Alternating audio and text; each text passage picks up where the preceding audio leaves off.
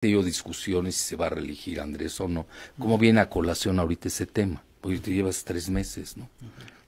¿Y tú crees que se va a reelegir o que no? Yo creo que si el pueblo se lo demanda, sí. ¿De veras? Sí. He tenido discusiones si se va a reelegir Andrés o no.